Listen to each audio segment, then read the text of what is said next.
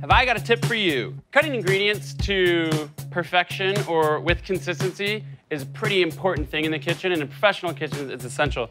Knives are really great, they do a great job at it, but what does an even better job is a mandoline. A lot of people are scared of them, but if you know what you're doing, they're just amazing.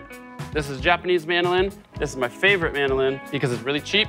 It's really stable. I can adjust the sides and get perfect, perfect slices, super thin to pretty thick. I actually think it's the safest just because it's got one little blade. I know where the danger's at. It's right there. Let me show you how to use it. I want to start slicing, dude. So there's some basic practices. First one, of course, having a sharp blade. Really sharp blade makes all the difference, just like a knife. Second thing is you want when you use it, you want it to be stable. Food, whatever you're gonna slice, cut it into something kind of manageable, something like this. So it's nice and stable. A couple slices. I'm gonna test for thickness. Those are a little too thin, so I'm gonna dial this back. Whoop. I like it.